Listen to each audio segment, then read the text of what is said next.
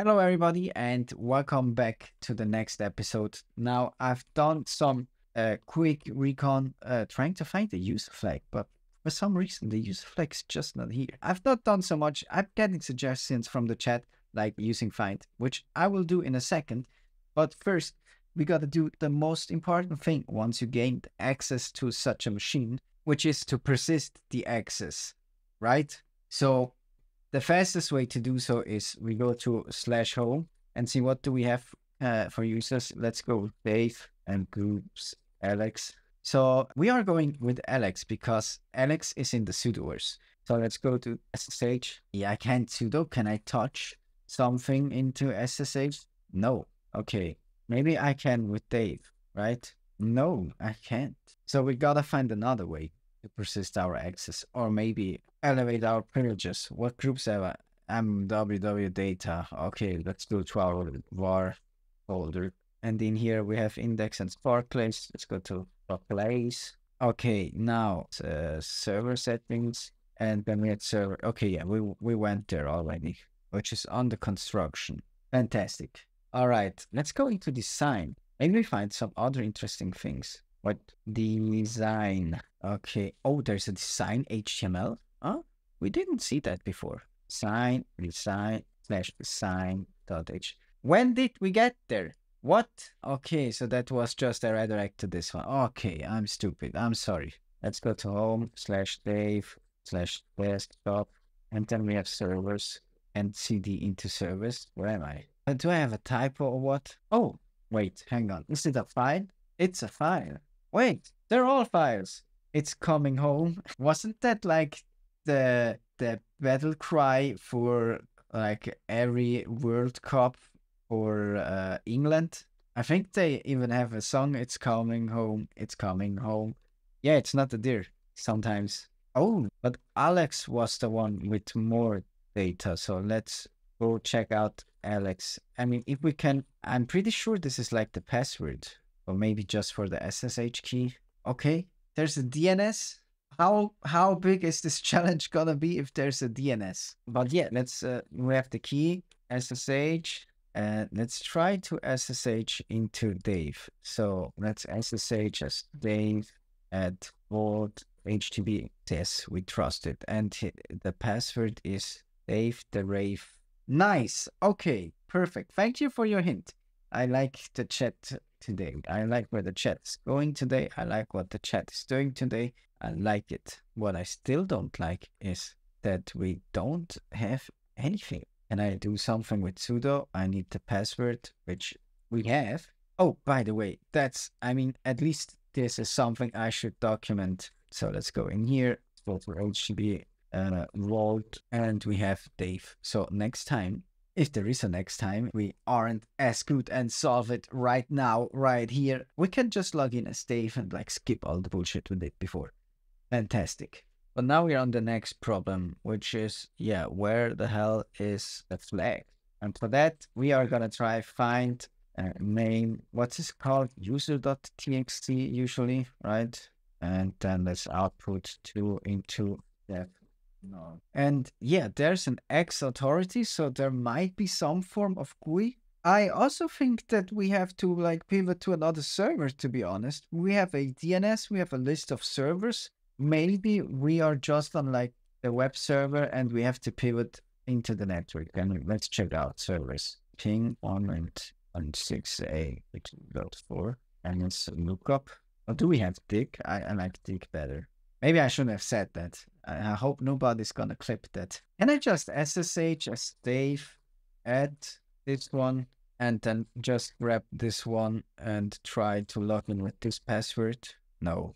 Okay, I think our ultimate ultimate goal is to reach the DNS. But in the way we have our firewall. Now those look like internal IPs, so I'm gonna attack them. I suppose they're the ones I'm supposed to attack. And I wasn't able to find anything about other things. Okay, so this is refused. I just want to find A names. Maybe we find some A names and then we find some other IPs. No service could be reached, but I was able to reach it. You know what? Uh, it looks like the ping sweep is the most best idea. So we get something back from one. It doesn't seem like two is reporting something. Four, we have five, which is not reachable, but it's the firewall, right? So I doubt that we can get anywhere with this. Oh no, no, I have to cancel it like 255 times. Why did I do that? It sounded like such a good idea if you don't think about the consequences. Maybe the key here is it's coming home. No, it's not. Maybe can find something in the known hosts. Uh, what do I do now with this one? Isn't like in the known hosts usually a list with IPs and host names? We could try to tunnel it. I'm just not sure if my ARM architecture can handle it. During the ECPPT, I got nothing but problems with pivoting. Not because of the skill issue, but that's certainly a part of it, but mostly because the ARM Metasploit Metapredator things aren't that stable, or they weren't. There's also static nmap. Wait, we need we need some kind of plan. Rigolo ng. The one I tried was something with a C. I'm not sure how what it's called anymore. I think it's kinda outdated to be honest. Okay, let's take a look at Ligolo ng, which is an, a tunneling like VPN. That sounds interesting. Wait, the machine info said something about malicious OpenVPN configurations files and PGP decrypt. God, how much stuff is going on in this challenge, man. This really is a vault. Okay, advanced yet simple tunneling protocol. Give me a minute while you enjoy the music so I can read what the hell this does and if we should use it. We can create a TON interface? That's amazing. I think Chisel was the one I used during the certification process. Okay, I mean, let's set this thing up. I don't know which one we're gonna take, so we're just gonna build it from scratch. So you can also see the process in action. Oh, do I need it on both parties? Wait, I, I may need to read this up. Start the agent on your target victim computer. No privileges are required. I like that. That's essential for a tool like this. So I guess we're gonna do a couple of things. First, we're gonna compile it for our local machine. Then we're gonna run it on our local machine, so we have like our server running. Then we're gonna download the one for the uh, Intel architecture, start the web server to upload it to our target or victim, and then start the agent on the victim. That's our attack plan. Thank you, Nas, for the tip. And we just we need an agent. No, we just need the proxy. Okay, so Go is now running. So let's go build proxy. Now it's installing all the proxy things. You know what? I'm just gonna build the agent so that we download all the dependencies required for the agent. I'm not sure it's gonna help, but it's certainly not a bad idea, right? Okay. So now instead of like typing it out like a dumb idiot, I'm just gonna copy paste it. All right. So we have everything. We add our our thing, which is on Igolo. Boom. Invalid user parallels. Oh, Maybe I should learn how to write parallels. And we use third. Made in France. Okay, now on to the next step. First of all, we need to download something because I'm living in ARM space and I'm pretty sure this thing lives in Intel space. So we are just going to download a fixed uh, binary for it on the release page over here, which is a Linux Oh, maybe we should learn what WhatsApp else. Uh, sorry, what the fuck? It's a new name, A. Holy crap! It's a 413. I mean, how easy do you want it make to break? I mean, I guess this is just a web server that we don't care about. We have to check if we have tar. Okay, so we can use it in here. Yeah, I could use a static nmap binary on the target. The problem is we are dealing with with DNS things. DNS runs on UDP, and as far as I know, to run UDP scans, you need like sudo privileges, which we don't have on the victim, but we can use our attacker machine with sudo privileges. So that's why we're doing this entire thing. I mean, I think that's the that you can't, but it's also just a guess an educated guess based on experience, but I may be remembering stuff wrong, you know. Perfect. Okay, so it runs somehow. We will see if it works out like we want or not. I mean, now the song song sounds more like metal, but uh, I don't mind. Let's add an insert to the target as well, and then okay, here it's an ignore cert. Why isn't it working? Does this only work by a domain name? No. Oh, it does. I don't know if the static nmap binary wouldn't have been much easier than what we are doing right now. SOCKS proxy using SSH. I mean, let's take a look at that. That could be interesting. All right. You know what? That's, that looks easy enough. Let's go with that. Did it work?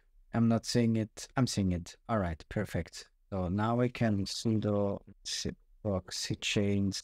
And once we're here, we can say in here we're one seven zero zero one, and in here we have one three three seven. And now we can just proxy chains ping what was the IP here. Now we should be able to ping this if I can find the correct one.